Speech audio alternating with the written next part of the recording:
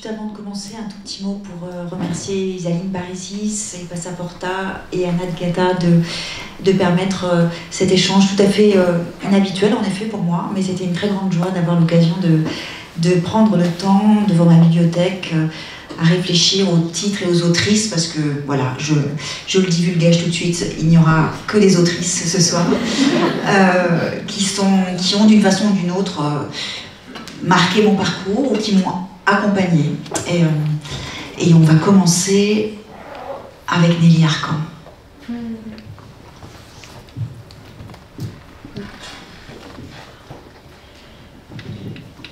Et qu'y aurait-il en dessous, pensez-vous, sous la surface de ce qui est à enlever? Y trouverait-on la satisfaction d'une peau toute neuve? Un sourire étoilé et une poitrine inspirant une volée de prières, obligeant le monde à ramper sous son rayonnement. Y verrait-on un happy de soleil couchant, le ciel traversé de longs boas de ouate rose? Ou y aurait-il rien du tout? Encore moins que les vénules et la symétrie, un cratère plus bas que la déception, l'échec de la merde qui n'a pas pu se changer en or mais qui est forcément devenu autre chose, du jamais vu.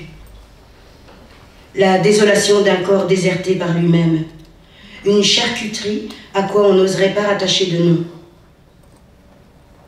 Je n'en sais rien, mais ça ne pourrait pas s'arrêter là.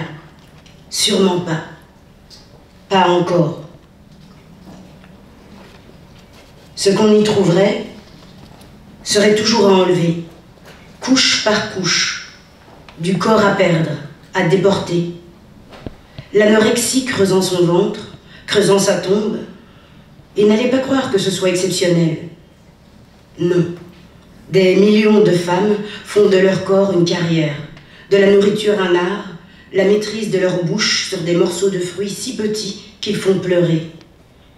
Et surtout, le message qu'elles lancent aux autres. Regardez-moi comme vous êtes grosse. Regardez ce qui pend sous vos fesses, ce qui fuit sur les côtés en battant le rythme de la marche. Quelle horreur Quelle lourdeur ne faut-il pas endurer pour exister? Les femmes ont souvent trop de ce qu'elles ont. Elles sont toujours trop ce qu'elles sont, rivées à leur sexe, à ce qu'on dit. Incapables de réinventer leur histoire ou de penser la vie en dehors des sondages de magazines de mode inépuisablement aliénées à ce qu'elles croient devoir être. Des poupées qui jouissent lorsqu'on veut qu'elles jouissent, des poupées qui ont telle taille, telle coiffure, qui ne veulent rien et qui en veulent toujours plus, qui se masturbent à tout propos et qui, n'en ont jamais assez, qui s'occupent tout entière à exciter les hommes, sans autre but dans la vie que se regarder dans la glace et se comparer aux autres. Leur cul et leur poitrine pour vérifier que c'est plus gros. Moins bien. Parler des hommes et des autres poupées. Passer du lit au coiffeur, à la maquilleuse, à la gym, à la boutique, à la manicure, au régime, au chirurgien, au striptease et encore au lit. À l'argent gagné de ça, de la putasserie comme but, de la fascination de soi-même et de l'envie des autres. Enfin, au papotage de tout ça, de la coiffure, du maquillage, de la gym, des fesses, des seins trop petits ou trop bas, de la boutique de la manicure, du régime, du chirurgien, du striptease et de la baise.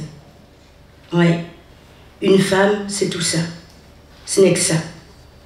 Infiniment navrante, une poupée, une schtroumpfette, une putain, un être qui fait de sa vie une vie de larve, qui ne bouge que pour qu'on la voie bouger, qui n'agit que pour se montrer agir. Et ce n'est pas fini car il faut qu'elle soit la seule de ce genre pour faire son bonheur. L'unique schtroumpfette du village, au milieu des cent schtroumpfs. Ni mère, ni fille de personne, pure coquette qui n'existe que par sa coquetterie. La représentante de la race de celles qui ne sont ni mère ni fille, qui ne sont là que pour faire bander et continuellement s'assurer qu'elles peuvent faire bander au plus grand plaisir de tous. Car les hommes n'ont rien à foutre des mères et des filles. Ils veulent pouvoir les baiser toutes, même leur mère ou leur fille. Ils veulent pouvoir les penser en schtroumpfette qui rient de se voir si belle et si blonde dans le petit miroir qu'elles gardent à portée de la main, de peur de se retrouver seule. Oh oui, une femme, c'est avant tout un sexe susceptible de faire bander, car un sexe n'est jamais bandant en soi. Ça prend du travail, le travail d'une vie entière jusqu'à la mort. Car même vieilles et repoussantes, les femmes se rappellent le temps où elles ne l'étaient pas où elles pouvaient vivre à la folie de leur vie de larvée, sur elles, pardon, où elles pouvaient vivre. Car même vieilles et repoussantes, les femmes se rappellent le temps où elles ne l'étaient pas, où elles pouvaient vivre à la folie leur vie de larvée sur leur nombril, leur existence de se farder en remuant les fesses, et le travail se continue dans le souvenir qu'on s'efforce de farder à son tour.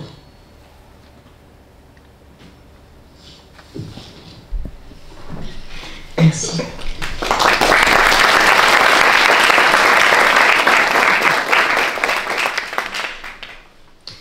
Je ne sais pas si vous avez en tête le, visage de Lily Arcan. Euh, c'était une femme très belle, blonde, euh, qui avait une certaine facilité à parler de son propre physique, mais qui disait aussi euh, comment elle le travaillait. Elle avait eu recours plusieurs fois à la chirurgie esthétique et, en parlait.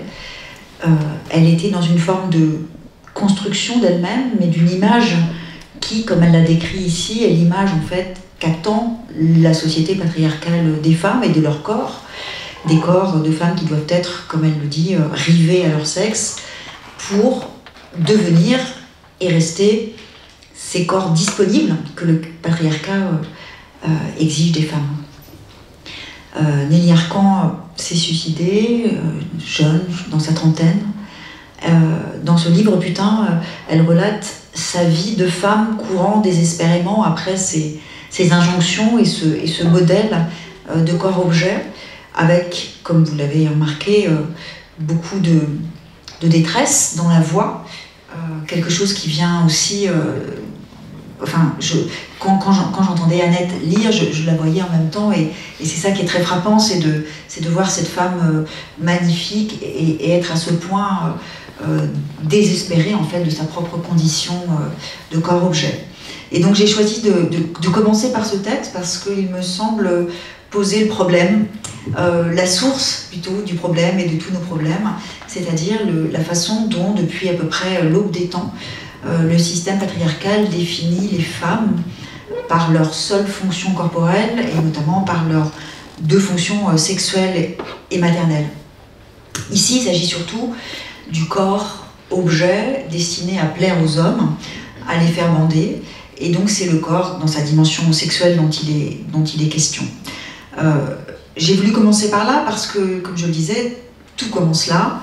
Euh, avec Aristote qui définit l'existence des femmes euh, par leur assignation à la fonction procréatrice, mais aussi à la fonction d'épouse et de mère, une définition qui permet de poser le socle d'une structuration sociale qui va traverser toute l'histoire jusqu'à nous, puisque une fois qu'on a dit que les femmes sont sur Terre pour remplir leurs fonctions corporelles, sexuelles et maternelles, eh bien, il devient très facile de les enfermer dans la sphère domestique et de réserver euh, la sphère sociale et le reste du monde aux hommes. Eh bien, ce qu'on appelle système patriarcal, c'est cette hiérarchisation sexuée du monde, avec d'un côté la sphère privée, domestique, féminine, inférieure, et de l'autre la sphère publique, euh, sociale, masculine et supérieure. Et cette structuration-là, elle est celle qui a permis, enfin, qui, a traversé toute l'histoire jusqu'à nous, par-delà même le grand tournant de la modernité démocratique, c'est-à-dire qu'on retrouve sous la plume des grands théoriciens de la démocratie, euh, Rousseau premier chef, cette même conception et cette même définition de l'existence des femmes au prisme de leurs fonctions euh, sexuelles et maternelles, et que comme vous le saviez tout aussi bien que moi, euh, il va falloir attendre euh, des décennies et même des siècles avant que les, femmes deviennent de vrais sujets démocratiques, c'est-à-dire à partir du moment notamment où elles auront la maîtrise de leur corps procréateur à partir des années 70. Euh, ce qui se met en place et ce qui se perpétue, c'est une mécanique très, très efficace qui consiste à apprendre aux filles à devenir des femmes, c'est-à-dire à devenir donc ces, corps disponibles.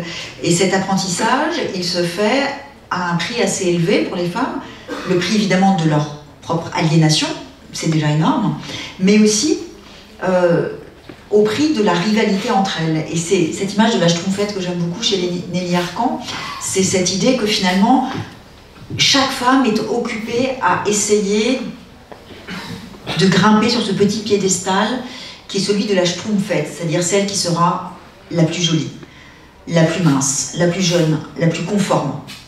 Et c'est celle qui va pouvoir ensuite bénéficier de, l'attention et, de l'intérêt des hommes, mais au détriment des autres femmes. Et ce qui se dit là euh, entre les lignes, c'est que le patriarcat fait en sorte que les femmes demeurent toujours entre elles comme des rivales. Euh, et que, entretenant ainsi ce principe d'une compétition entre femmes qui doivent toutes donc chercher à souscrire du mieux possible aux injonctions, euh, eh bien, euh, les, rouages de la domination masculine peuvent pendant ce temps continuer de tourner de façon euh, très fluide, puisqu'il s'agit, pendant que les femmes sont occupées à paraître toujours mieux que ce qu'elles sont, eh bien, le monde des hommes, lui, peut continuer de tourner sans elles. donc, j'espère ne pas être trop dense dans ce propos un peu introductif, mais euh, c'est important de commencer par, poser en fait cette espèce de, de malédiction originelle, euh, à laquelle on reviendra tout à fait à la fin, euh, celle qui fait des femmes en fait des corps à disposition destinés à toujours demeurer disponibles.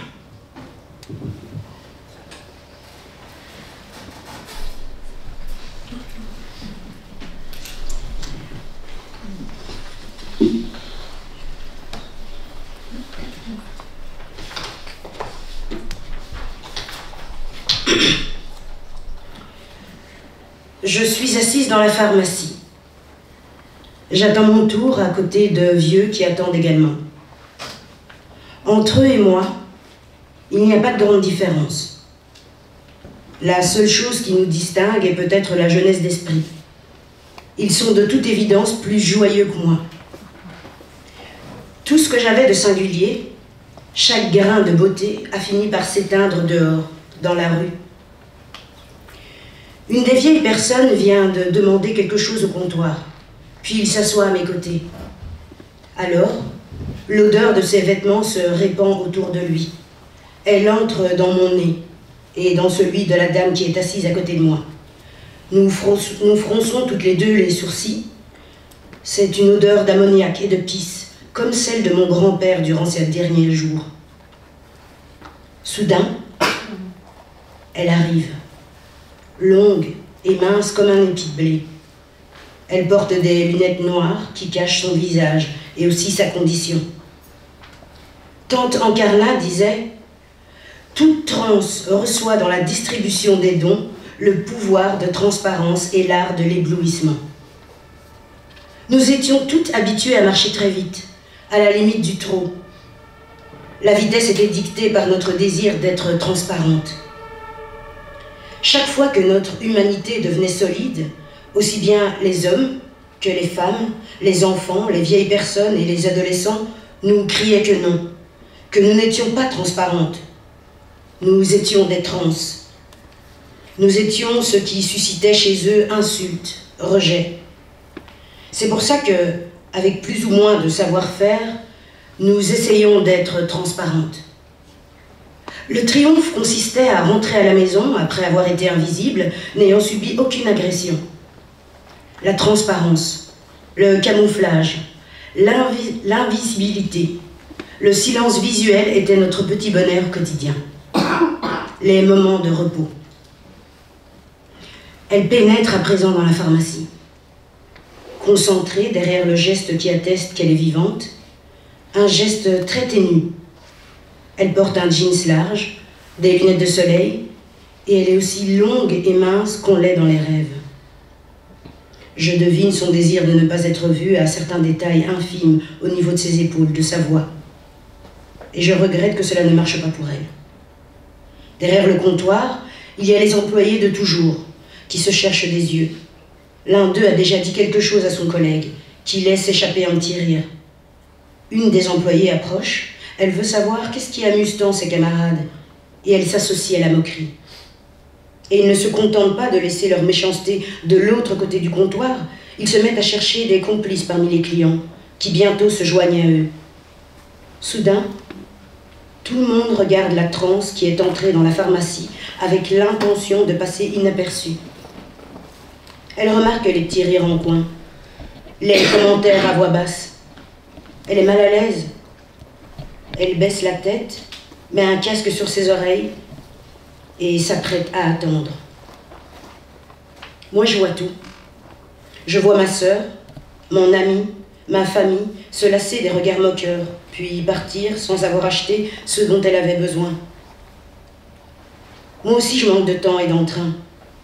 Je ne trouve pas en moi l'énergie nécessaire pour taper le scandale qui mérite pourtant cette tripotée de misérables, ces esclaves de bonne mœurs. Comme il me fait honte, comme je me fais honte moi-même de ne pas me transformer en justicière pour les envoyer tous se faire voir dans le coin le plus puant de la terre. Enfant de la merde la plus merdeuse, frère de la merde la plus merdeuse, adepte de la pire des merdes. Qu'est-ce qu'ils savent des heures perdues à tenter de maîtriser l'art difficile de la transparence et de l'éblouissement? Nous sommes comme un après-midi sans lunettes de soleil, disait tante Encarna. Notre lumière aveugle, elle offusque ceux qui nous regardent et leur fait peur. C'est vrai. Mais nous pouvons toujours partir. Et notre corps s'en va avec nous. Notre corps est notre patrie.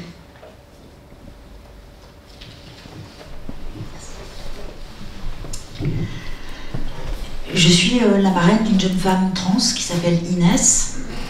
Et quand j'ai fait sa connaissance, euh, je suis sa marraine, disons, civile. Enfin voilà, c'est dans le cadre d'une institution qui accompagne des, jeunes qui ont fait des services civiques et qui ont des, projets ensuite. Euh, quand j'ai rencontré pour la première fois, elle portait, elle était, elle était maquillée assez intensément et elle portait des longs fossiles. Et je me suis dit intérieurement en la regardant, mais ces longs fossiles qu'elle porte la désignent immédiatement comme jeune femme trans. Et puis quelques temps plus tard, je, devais l'accompagner, elle était étudiante euh, assistante sociale, elle devait trouver un stage. Et donc on réfléchissait ensemble à des stratégies, des choses à faire pour qu'elle le trouve. Et je m'aventure à lui suggérer que peut-être ce serait bien qu'elle euh, qu'elle fasse montre de, moins de signes extérieurs de féminité, que ce soit plus, plus discret peut-être. Et sans s'offusquer de, ce conseil qui était évidemment sans doute un peu intrusif, elle m'a expliqué ce que ça représentait pour elle, que de se maquiller et notamment que de porter ces longs fossiles. Elle m'a expliqué comment euh, il s'agissait de quelque chose vraiment de l'ordre du vital, c'est-à-dire qu'elle ne pouvait pas sortir de chez elle sans avoir revêtu en quelque sorte les habits, les signes extérieurs de, la femme qu'elle était. Euh, elle m'a expliqué aussi que dans son cas, le cas d'une jeune femme trans ayant un mauvais passing, c'est-à-dire ayant un, visage avec des, une structure assez masculine, euh, il lui fallait enfouir en fait le masculin sous ses couches euh, du féminin. Et puis quelques mois plus tard, euh, elle est venue à Paris et pour, euh, pour subir une opération de féminisation faciale. Et donc elle est restée quelques jours à la maison pour se remettre de cette opération. Euh, et une fois qu'elle a été, disons, guérie, dans le sens où, où l'opération a été cicatrisée, petit à petit, elle s'est mise à moins se maquiller, elle a arrêté complètement les fossiles, et aujourd'hui, quand je la vois, elle porte absolument, enfin, aucun maquillage. Au, point que je lui dis presque le contraire, je dis, mais pourquoi euh, ce serait, euh, ce serait, ça te va bien, tu sais, quand tu, quand tu, que tu fais un trait d'eyeliner, bon. Et on rigole ensemble de ce chemin euh, qu'elle a fait dans la douleur, parce que cette scène de Camila Sosa Villada, de cette jeune femme trans qui voit une autre femme trans subir sous ses yeux les rires, les moqueries, au point de quitter la pharmacie, ne pouvant plus supporter cette, pression. Ça, c'est cette question de, la recherche de la transparence et de l'invisibilité. Euh, je me souviens l'avoir éprouvé aux côtés d'Inès en marchant dans la rue et de constater ahuri à quel point en fait l'expérience vécue de, la femme trans était celle d'une objectivation absolument maximale, c'est-à-dire qu'elle n'était plus que cela, je dire un, vraiment un corps-objet euh, marchant dans la rue, c'était très frappant. Et grâce, grâce à cette euh, belle amitié que nous avons et à ces grandes discussions aussi, j'ai beaucoup cheminé et sur, sur la, ma façon de penser en fait ce, ce qu'est le féminin. Euh, et c'est un adjectif que j'ai longtemps travaillé, mais qui pendant un moment m'a été un petit peu comme un, petit, un petit, boulet, puisque j'avais du mal euh, à faire comprendre ce que j'entendais par corps féminin. Et surtout, j'avais du mal à, faire comprendre que, euh, en disant cela, je ne cherchais pas à enfermer les femmes dans une quelconque nature, et encore moins à les ramener à leurs conditions justement de corps-objet, euh, mais qu'il s'agissait simplement pour moi d'essayer de, de, de, réfléchir, disons, les caractéristiques féminines de la vie des femmes. Et dans Un corps à soi, je suis enfin parvenue à, définir ce que j'entends par féminin. Et je propose de le penser comme euh, un rapport à soi, aux autres et au monde, qui passe nécessairement par le corps et qui est de ce fait déterminé par lui. Euh, nécessairement, je veux dire par là que euh, les femmes, contrairement aux hommes, ne peuvent pas faire comme si elles n'avaient pas de corps et encore moins comme s'ils n'avaient pas de corps sexué. Les hommes peuvent tout à fait euh, dénier, voire oublier le fait qu'ils ont un corps. Les femmes, elles, sont leur corps. Quand je dis le féminin, c'est le fait de ne pas pouvoir faire autrement que de, que de vivre, mais que ce soit vis-à-vis de soi-même et des autres et du monde, dans cette permanente incarnation et dans cette permanente conscience de cette incarnation.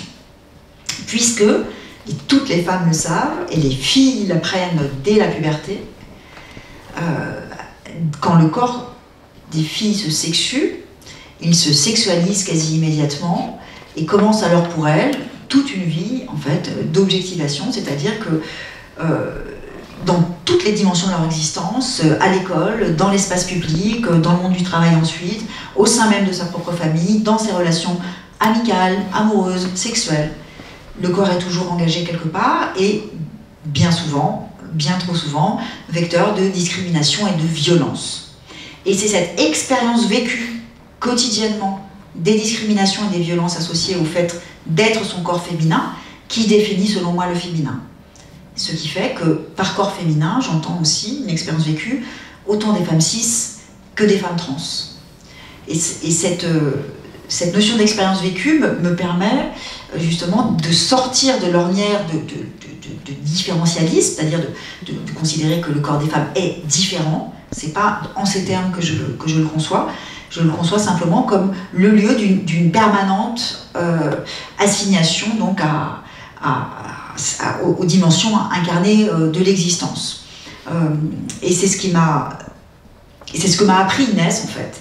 C'est cette expérience vécue du féminin qui n'a pas besoin pour être éprouvée des organes adéquats, qui n'a pas besoin même des processus physiologiques soi-disant féminins, mais qui n'a besoin que de cela, de cette expérience vécue chaque jour, tout au long de sa vie, et quel que soit le milieu au sein duquel euh, on évolue, cette expérience vécue donc de l'assignation à son corps.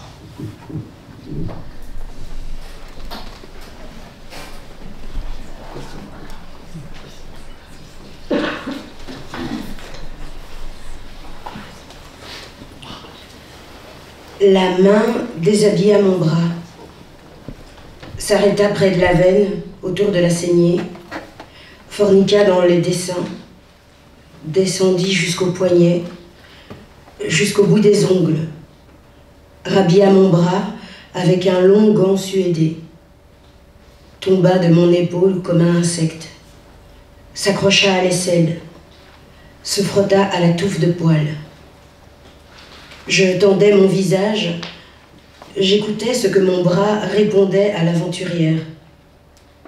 La main qui se voulait convaincante mettait au monde mon bras, mon aisselle. La main se promenait sur le babillage des buissons blancs, sur les derniers frimas des prairies, sur l'emploi des premiers bourgeons. Le printemps qui avait pépié d'impatience dans ma peau éclatait en lignes, en courbes, en rondeurs. Isabelle, allongée sur la nuit, enrubannaient mes pieds, déroulaient la bandelette trouble. Les mains à plat sur le matelas, je faisais le même travail de charme qu'elle.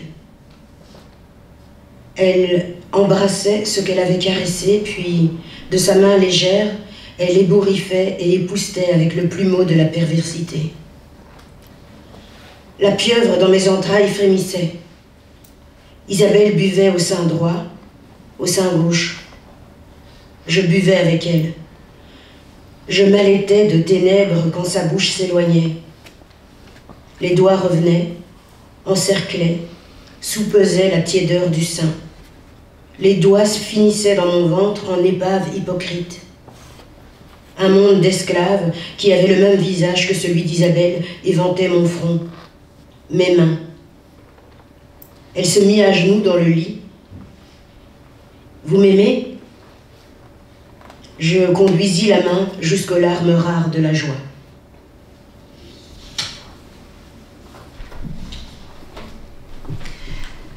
Quand Margot Gallimard m'a proposé d'écrire une préface pour euh, la réédition de Ravage de Violette le Duc dans sa version enfin intégrale, j'ai longtemps hésité, et notamment parce que euh, je ne suis pas lesbienne et que ce texte est vraiment une, dire un, livre euh, immense pour les lesbiennes, notamment parce qu'il a, dans sa première partie, ce récit absolument inouï de beauté, de l'amour entre Isabelle et Thérèse, qui sont toutes les deux euh, à l'âge du collège et qui sont en pension euh, et qui se rencontrent et qui passent quelques nuits ensemble et qui ne se reverront plus jamais d'ailleurs par la suite.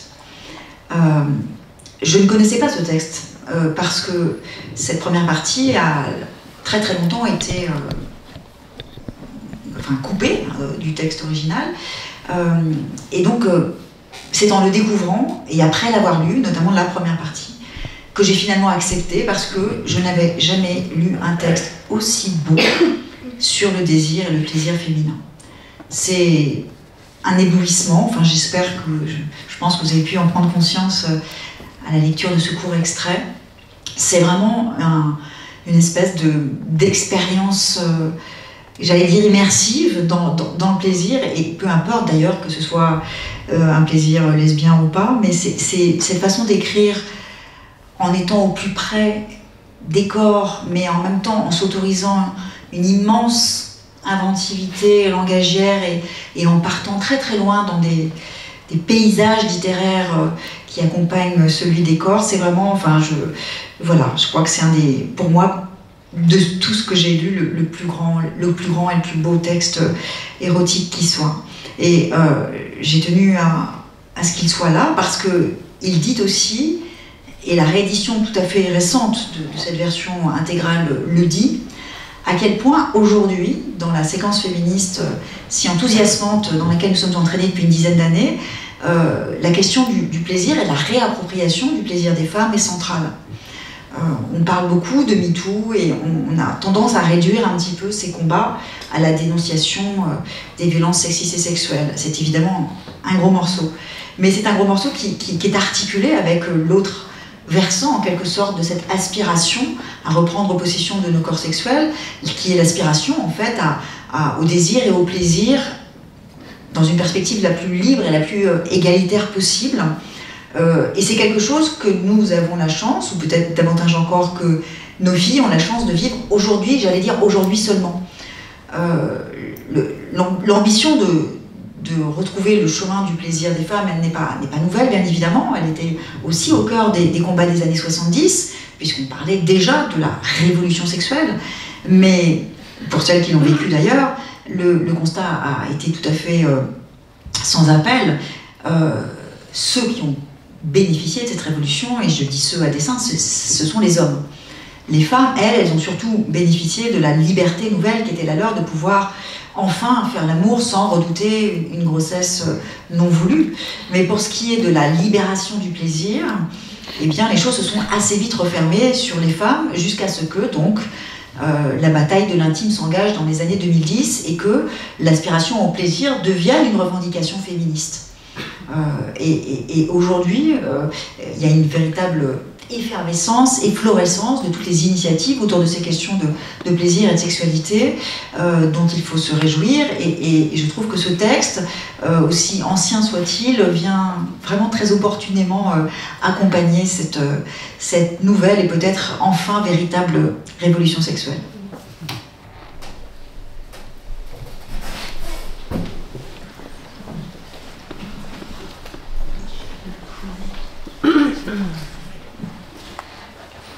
intense et douloureuse et fréquente.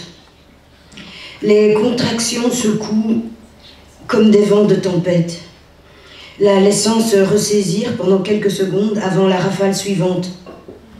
Elle ne hurle pas, mais elle gémit. Et les bruits qui sortent d'elle dépassent la douleur. Et le travail de l'accouchement dépasse la vie humaine ou même animale. Ce sont les bruits qui déplacent la terre, les bruits qui donnent voix aux profondes et violentes fissures dans l'écorce des séquoias. Ce sont les bruits des cellules qui se divisent, des atomes qui se lient entre eux, les bruits de la lune croissante et de la formation des étoiles. Bois, dis-je à Eva en portant une tasse d'eau à ses lèvres. Elle prend une gorgée en tremblant, puis dit il faut que je fasse pipi. Je l'aide à sortir. Je l'aide à soulever sa jupe. Je la soutiens pendant qu'elle s'accroupit, mais rien ne vient, hormis une contraction. Puis j'entends un autre bruit, un grognement montant du fond de sa gorge, qui la fait plisser les yeux avec effort. Quand c'est fini, elle dit J'ai poussé.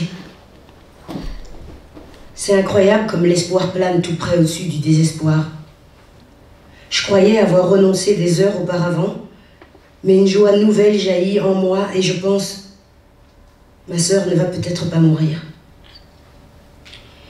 J'ignore totalement combien de temps elle a poussé. À plusieurs reprises, le feu a diminué et j'ai dû la quitter pour m'en occuper. À un moment, je l'ai aidée à s'appuyer contre le mur intérieur de la souche. Et quand j'ai regardé entre ses jambes, j'ai vu, à la lueur d'ensemble du feu, sa vulve gonfler. Elle a poussé à nouveau, et j'ai vu ses lèvres vaginales et un bout de tête toute lisse qui pointait. Quand la contraction est passée, la tête a disparu. Mais à la suivante, je lui ai pris une main et l'ai guidée entre ses jambes pour qu'elle sente cette autre chair et une expression d'extase s'est répandue sur son visage, dont la trace a demeuré même après les nouvelles contractions. Je lui ai fait boire des petites gorgées d'eau. Je lui ai tenu la main. J'ai ajouté mes propres grognements d'encouragement à ses grognements à elle. Et peu à peu, sa vulve s'est distendue pour être de plus en plus fine. Et peu à peu, la tête du bébé a commencé à apparaître. Tout à coup, elle a écarquillé les yeux d'un air de surprise. Elle a poussé à nouveau et la tête du bébé est sortie. Le reste de son corps encore en elle, son visage aplati comme une divinité d'un autre temps. Elle a poussé encore une fois et elle a glissé vers moi. Je l'ai attrapée maladroitement, plus pour me protéger du choc que pour protéger ce que je tenais dans mes mains. Il était chaud, mouillé, gluant et immobile comme un cadavre.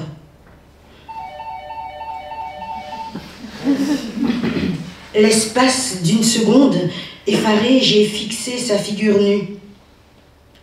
Il semblait fini, exactement tel qu'il était, et j'ai éprouvé une curieuse répugnance à l'idée de l'exhorter pour qu'il revienne à la vie. Mais alors que je commençais tout juste à essayer de me rappeler les pages qui, dans l'encyclopédie, expliquaient comment réanimer un enfant mort-né, il a pris une première respiration. Puis une autre. Il a ouvert les yeux et a regardé le feu, la souche, le ciel d'avant l'aube. Eva s'est laissée retomber, ses joues ruisselantes de larmes. J'ai posé la petite chose sur sa poitrine, tassant toutes les couvertures autour d'eux. Nous avons alors pleuré et ri, bien, bien au-delà des mots. Les contractions d'Eva ont repris et pendant un moment horrible, j'ai pensé des jumeaux. Puis je me suis souvenu du placenta. Elle a poussé à nouveau et il a glissé hors d'elle, rouge foncé comme du foie et entrelacé de veines. Je me suis souvenu que j'étais censé l'examiner, mais dans mon état d'hébétude, je n'arrivais pas à me remémorer ce que je devais chercher. Bien sûr, l'encyclopédie ne disait rien sur la façon de couper le cordon. Aussi, m'y suis-je prise à ma manière, en commençant par le trancher timidement, puis, comme ni Eva ni le bébé ne grimaçaient, en appuyant deux fois plus sur la lame de mon couteau et en le sectionnant d'un coup sec. J'ai alimenté le feu pendant qu'Eva parlait tout bas à son bébé, le cajolait pour le mettre au sein, gloussait quand il a tâtonné et mâchouillait autour de son mamelon. Un mince filet de fumée flottait au-dessus de la clairière, emplissant l'air du jour naissant de sa senteur forte.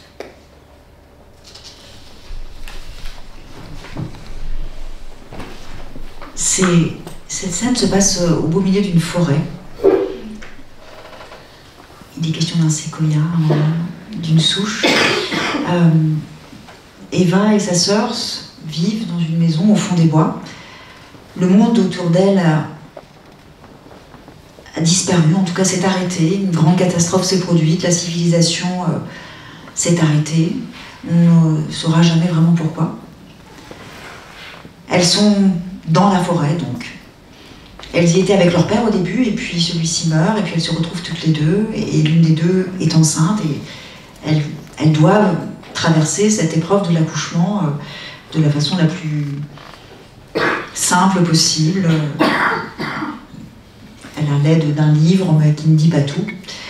Euh, c'est une histoire formidable de sororité, bien sûr, mais c'est aussi l'histoire de, la façon dont les femmes, depuis toujours, euh, s'accompagnent les unes les autres euh, pendant la gestation et l'accouchement. Comment, depuis toujours, euh, les savoirs sur la grossesse et la maternité se transmettent entre les femmes et comment, depuis que les hommes médecins ont investi les chambres des parturiantes à partir du XVIIIe siècle, comment peu à peu on a chassé les commères, très joli mot, les mères avec, comment on a chassé les commères des, chambres d'accouchement et comment euh, on a remplacé les mains de chair des sages-femmes par les mains de fer des médecins. Euh, c'est l'histoire de la façon dont aussi le système patriarcal s'est approprié le corps des femmes jusqu'à leur gros ventre.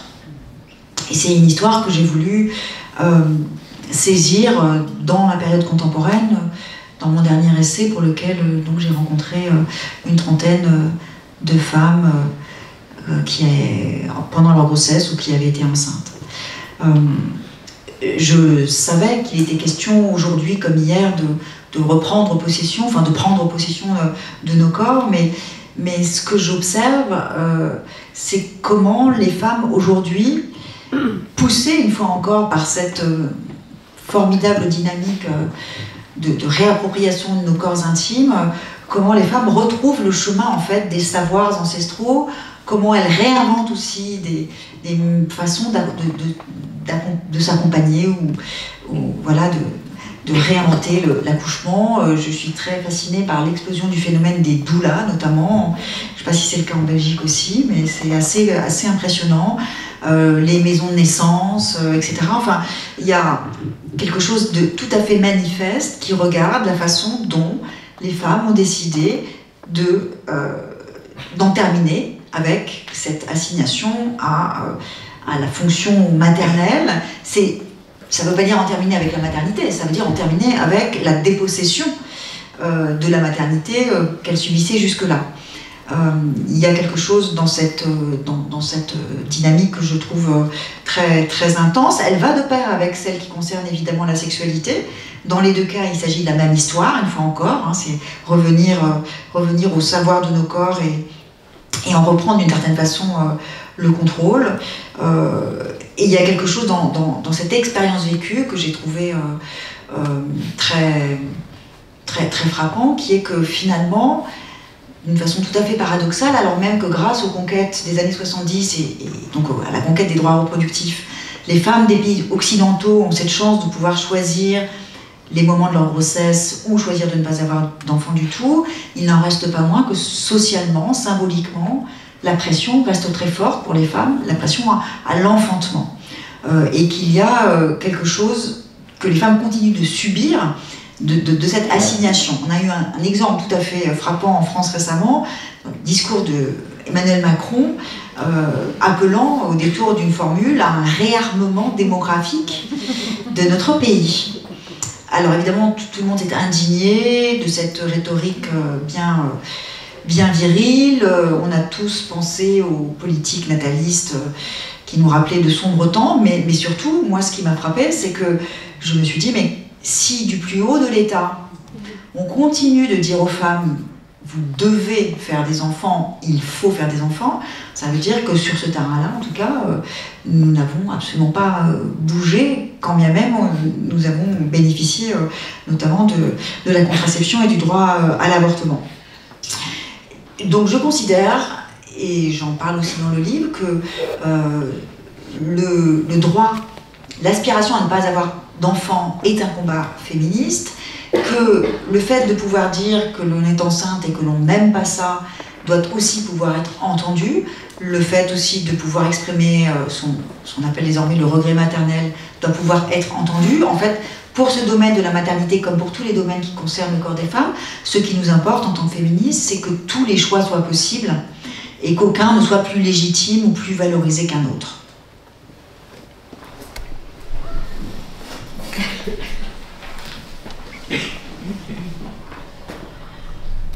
Pour l'amour du ciel, laissez votre couteau tranquille, se cria-t-elle intérieurement, en proie à un irrépressible agacement.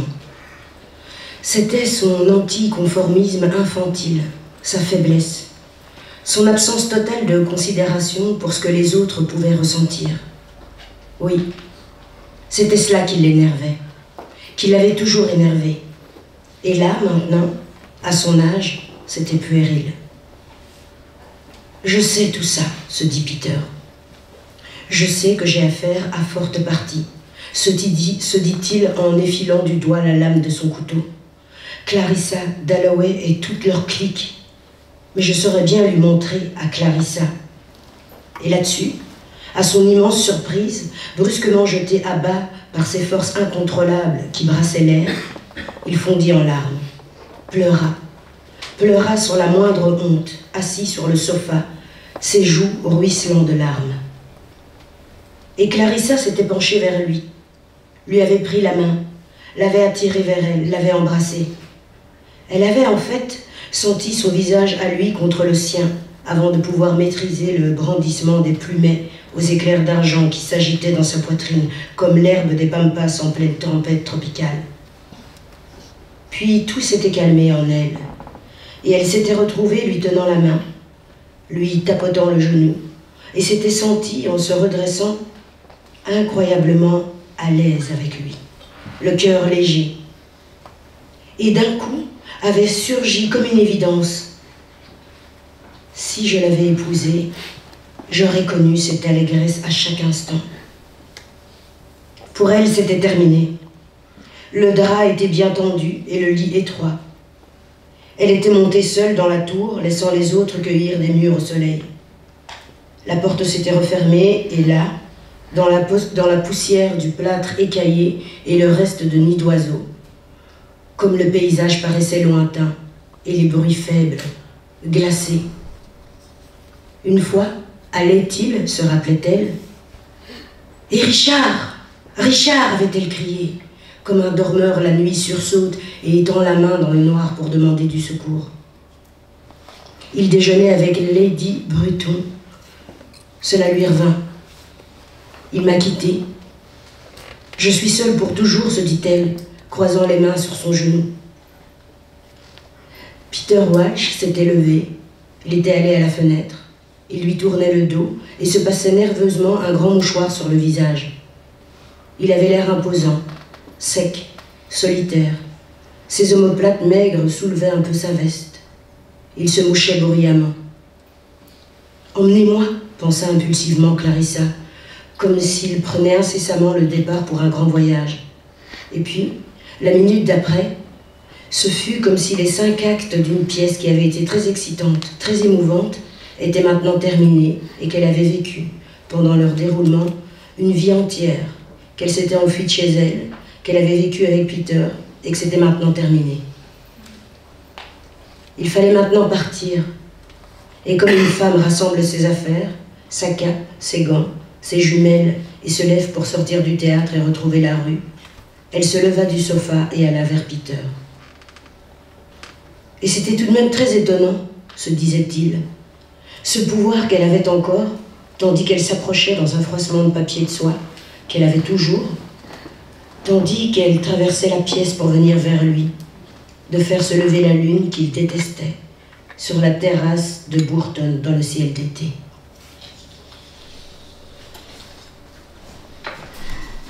Je lis euh, Mrs. Dalloway euh, à échéance régulière. J'ai dû le lire cinq ou six fois. Un des rares livres que, je relis. J'ai une grande passion pour Gina Woolf, mais ce livre spécifiquement, je ne sais pas pourquoi, mais voilà, j'y reviens toujours. Et la dernière fois que je l'ai lu, c'était il y a trois ans. Et en le lisant, j'ai soudain compris, ou réalisé, que j'avais le même âge que Clarissa. Clarissa Dalloway a 52 ans dans le livre. Euh, et donc toutes les fois précédentes que je l'avais lu, j'étais toujours plus jeune et que voilà soudain que c'était moi d'une certaine façon. Et, et, donc j'ai je me suis arrêtée à des pages sur lesquelles sans doute mes yeux avaient glissé beaucoup plus rapidement les fois précédentes, notamment ce passage. Euh, alors, l'écriture de, de Woolf est, assez, assez, dense et elle passe euh, voilà, d'un personnage à l'autre, mais donc là, Clarissa euh, retrouve son ancien amour de jeunesse qui est revenu à Londres quelques jours. Et là, en l'espace de quelques petites heures passées avec lui, elle s'autorise à vivre la vie qu'elle n'a pas eue puisqu'elle ne l'a pas épousée euh, et à en vivre tous les actes euh, pour finalement en, ressortir. Euh, et il y a quelque chose dans cette tentative d'essayer de, vivre quelque chose qu'on n'a pas pu vivre et dont on sait qu'on ne vivra, vivra jamais, qui dit, selon moi, la, nature assez spécifique pour les femmes du passage de la cinquantaine, euh, qui a un moment, de, je trouve, d'assez de, grand euh, chamboulement existentiel, puisqu'il s'agit euh, d'abord socialement d'un tournant considéré comme fatal, qui se caractérise par une assez nette et immédiate disqualification sociale, mais aussi une forme de dévalorisation intime. Et j'entends par là pas spécialement le fait de cesser d'être considéré comme désirable, mais ce qui me paraît plus grave encore pour les femmes, c'est que c'est aussi la fin pour elles de leur être de désir. C'est-à-dire que ce qu'on leur interdit désormais, c'est d'être des sujets désirants. Et qu'il y a dans le passage de la cinquantaine, et qui est aussi celui de la, de la ménopause, comme une, injonction à l'effacement. Euh, aux yeux des autres, mais à ses propres yeux, puisqu'on vous demande de disparaître en tant que sujet de désir, et que, et que, le, et que le désir et, le, plaisir des femmes de plus de 50 ans euh, restent comme une espèce de, tabou absolu, et que la société demeure tout à fait rétive et hostile à accepter euh, voilà, les histoires d'amour et, et, de désir de ces femmes, comme en témoigne par exemple ce mot de cougar, dont on qualifie les femmes qui sortent avec des hommes plus jeunes qu'elles. Euh, c'est pas, c'est bizarre que ce soit le nom d'une espèce euh, en voie de disparition et qu'il soit par ailleurs un fauve euh, dangereux. Il y a quelque chose d'irreprésentable en fait dans le plaisir des femmes vieillissantes qui, qui, est vraiment manifeste. Mais ce que, ce que j'entends aussi dans ce texte et qui me touche, c'est, la possibilité, malgré tout, et qu'il me semble nécessaire de tenir, la possibilité de vivre toujours et encore des premières fois je me souviens très bien du désarroi qui a été le mien pendant les. les... C'est pas tellement le tournant de la cinquantaine, c'est plutôt les deux années qui ont précédé, c'est-à-dire voilà l'approche du tournant. Pendant ces années-là, je me souviens avoir été euh, traversée de vraiment d'angoisse assez forte en me disant voilà euh, ma vie telle qu'elle est, euh, j'y suis bien, voilà, je, je suis en couple, j'ai des enfants, j'ai un métier, mais j'avais le sentiment assez soudain que qu'elle ne serait plus dès lors qu'une espèce de morne répétition jusqu'à ce que mort s'en suive. J'avais vraiment l'impression d'être sur des rails qui m'emmenaient tout droit vers la fin. Jusqu'à ce que bah, les, hasards et la beauté de la vie me permettent en fait d'abord de renouer avec ma jeunesse, et c'est l'occasion qui m'a été donnée pour mon livre sur les seins des femmes, euh, qui est un livre, donc une enquête que j'ai menée auprès d'une quarantaine de filles et de femmes, et à qui j'ai demandé de me raconter leur vie au prisme de leurs seins, mais que j'ai que j'ai voulu aussi euh, prendre en photo, plus exactement faire le portrait de leurs seins, puisque une des thèses du livre, c'est de dire que les seins sont comme des visages. Et il s'agissait de trouver une photographe pour m'accompagner, faire mes entretiens, et on y réfléchissait avec mon éditrice, et c'était compliqué, même le dispositif, je me disais déjà, demander à une femme de, voilà, de se dénuder, mais en plus, si on il y a deux... Et puis je me suis réveillée un matin, euh, soudain, en me disant, mais ces photos, c'est moi qui vais les faire, bien sûr. Je dis bien sûr parce que quand j'avais 20 ans, j'étais euh, fan de photos argentiques, euh, j'avais un petit labo et, j'étais passionnée en fait euh, par la photo. Et puis j'ai arrêté après quand j'ai commencé ma thèse. Et là, soudain, à 48 ans, la vie me proposait de revenir à cette pratique de jeunesse que j'aimais tant. Donc ça a été une première, un premier cadeau. Et puis le deuxième cadeau, un peu plus tardif, c'est, c'est le roman, puisque en écrivant un premier roman, eh bien, j'ai donc eu cette chance de pouvoir vivre une première fois après 50 ans. Et je sais désormais que c'est possible.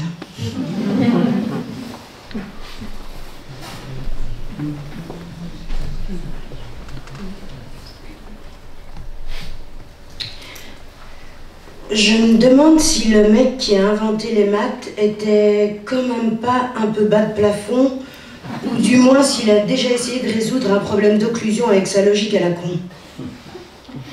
Il a dû passer sa vie enfermé à se palucher en gribouillant des symboles pour ne pas avoir pensé à modéliser le biais d'humanité. Météore croit vouloir tout entendre, mais elle ne sait rien du péril qu'elle encourt. Il est rigoureusement impensable de lui expliquer qu'elle m'aime précisément parce que je passe mon temps à étouffer cet inconnu qui nous condamne dans mon histoire. Cette espèce de quiproquo congénital autour du feu. Ceux qui ont été des enfants croient pouvoir compatir à ce genre de récit parce qu'ils n'ont pas la moindre idée de la postérité du bousillage, ni d'à quel point ça les menace aussi. Mon biais d'humanité, l'impossibilité de, ma tumeur muette, tient dans cette inassumable contagion. Il n'y aura jamais de manière bénigne de transmettre à ceux qui ont été des enfants ce que lègue au corps la trahison des premières braises. Mais Théor n'éprouvera jamais comment ça statufie dans la moelle. Naître sous un empire où les humains disent je t'aime en même temps qu'ils envoient votre peau au bûcher. Elle ne sentira jamais dans sa chair ce que putréfie la conscience exacte, clinique, démontrable, qu'on ne vous épargnera pas l'incendie.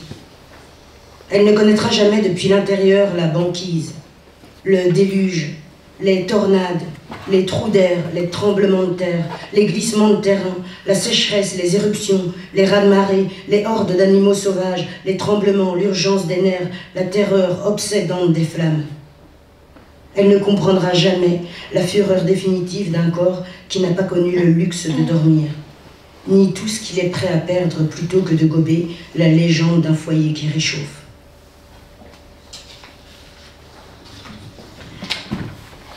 Le mot foyer qu'on entend à la fin est écrit P-H-O-I, 2 L, E, accent grave.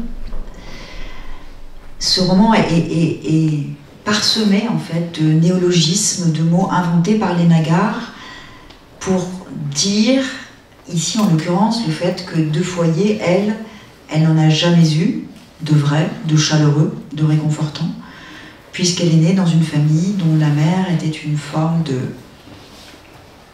ravageuse, destructrice, abominable personne venant euh, recouvrir de, voilà, de,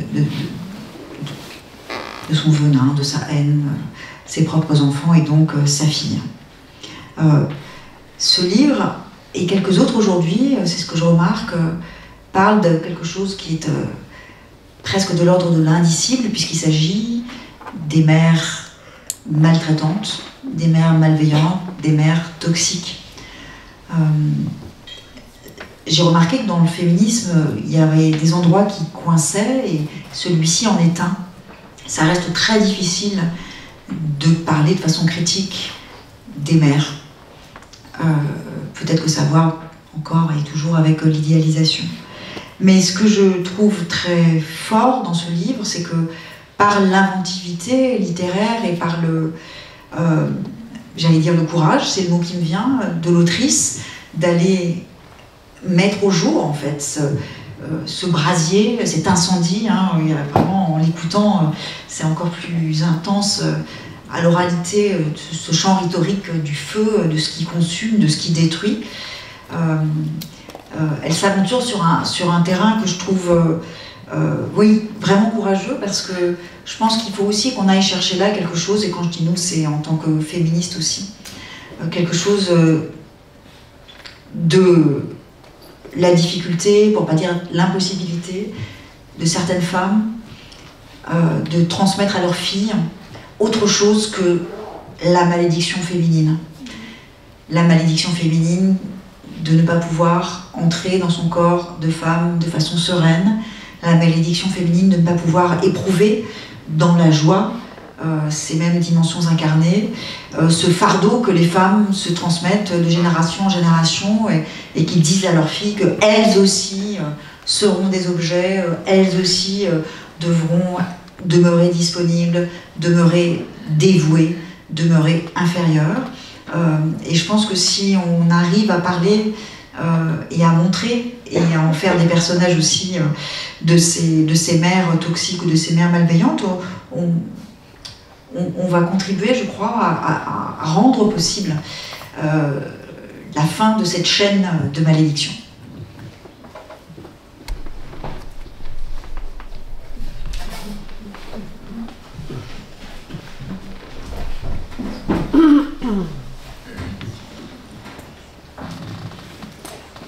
Ce matin, rare occasion, nous avons pu nous laisser porter par le bus en silence. J'ai eu tout le loisir de regarder les feuilles des arbres secouées par le vent, hypnotisé par cette lumière dorée qui apparaissait et disparaissait au gré des rafales. Je crois bien qu'elle somnolait encore dans mon dos. Elle ne bougeait pas, ses mains refermées sur mes pieds nus.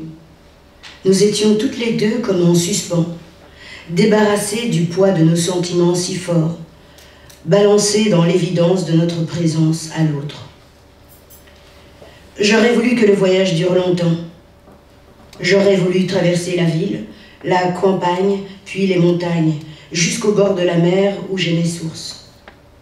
Mais, et c'est une réalité que je commence hélas à comprendre, toutes les bonnes choses ont une fin. Le bus s'est arrêté, elle s'est levée, le temps a soudain retrouvé sa cadence. Nous avons replongé dans le flux convulsif des rapports humains. Et tout a recommencé.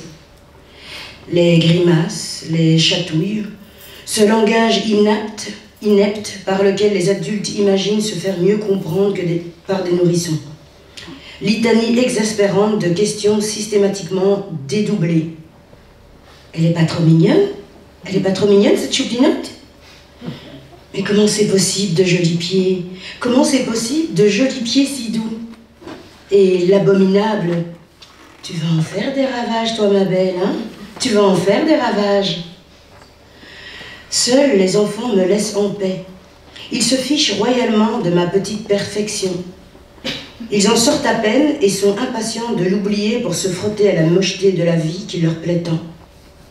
Ce goût pour les choses bruyantes, bruyante et laide m'échappe encore. Mais je pense que je saisirai un jour. J'aime les regarder courir et sautiller, parler fort et gesticuler sans se soucier des adultes qui les entourent. Tout au monde qu'ils créent rien pour eux.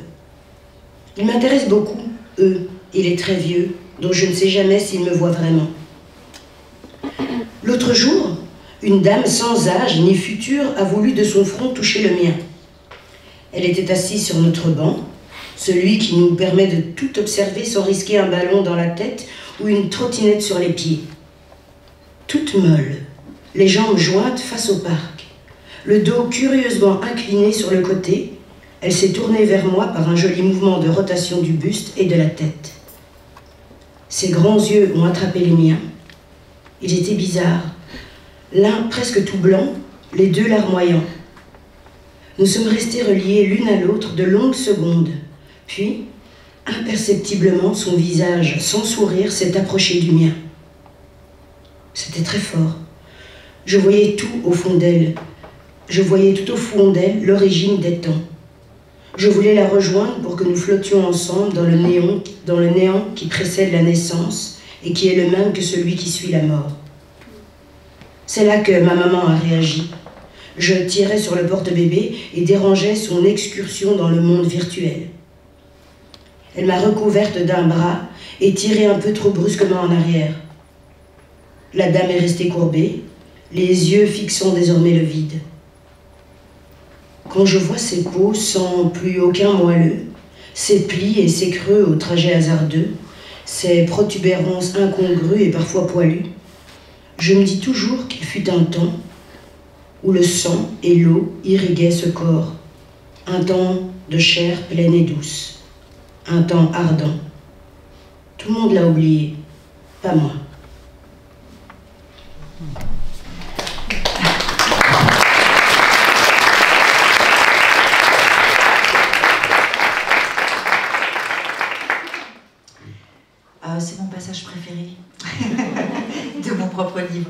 Mais vraiment, je me lasse pas de l'écouter. Puis c'est très agréable. De... Parfois, je la lis et en fait, j'ai beaucoup de mal parce que j'ai toujours un petit peu envie de pleurer à la fin. Euh, parce que ça m'émeut beaucoup euh, cette, euh, cette rencontre entre donc je pense, je pense que vous l'aurez compris la narratrice est un bébé fille. C'est le premier chapitre de Pleine et Douce c'est Eve qui parle. Elle est dans le porte-bébé devant sa maman et puis voilà dans un bus puis dans un parc. Et il y a cette rencontre avec cette très vieille femme et, et regards qui se croisent et, qui disent aussi, oui, que nous avons toutes et tous connu ce temps de chair pleine et douce. Euh, ça m'arrive dans la, dans la vie de, tous les jours quand je suis confrontée à un peu d'adversité, voire à un peu d'agressivité, ou quand dans l'espace public, euh, voilà, on se retrouve en face de quelqu'un qui renvoie quelque chose de, de désagréable, de pénible, d'agressif, euh, d'intercaler entre cette personne et, moi le, souvenir de cette personne quand elle était un enfant, voire quand elle était un bébé. Euh, et quand on projette sur ces visages pas toujours très riants l'image de bébé qu'ils ont été, euh, il y a une sorte de... Enfin, ça désamorce immédiatement éventuellement les, réflexes d'agressivité qu'on peut avoir pour, se défendre dans ces conditions. Euh, et donc le, plein et douce du, roman, du titre, c'est euh, c'est pas le, corps euh, de la femme, mais c'est le corps de, l'enfant, de tous les enfants que nous avons été. Je, vais, je vais terminer en disant cela tout simplement et puis en vous remerciant pour votre attention.